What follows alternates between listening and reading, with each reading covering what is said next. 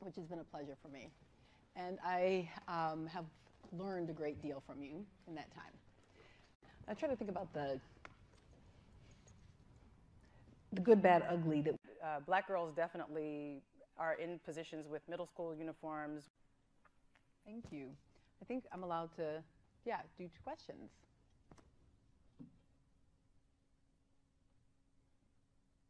More comments?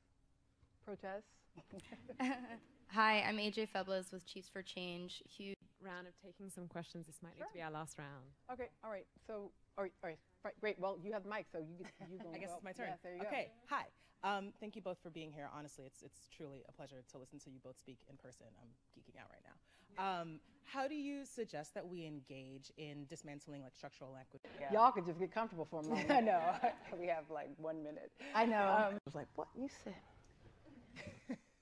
Well, why not? Yeah. right? And Dr. Baker's like, we gonna have, we gonna be a certain way in my school. You can't come up in here like that.